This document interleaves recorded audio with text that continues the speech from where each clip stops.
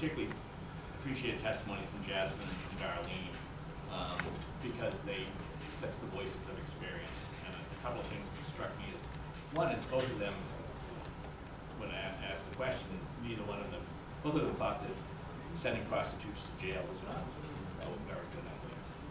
Um, and, but not a very good, it was not. And I, and I brought me again back to reading our current statute,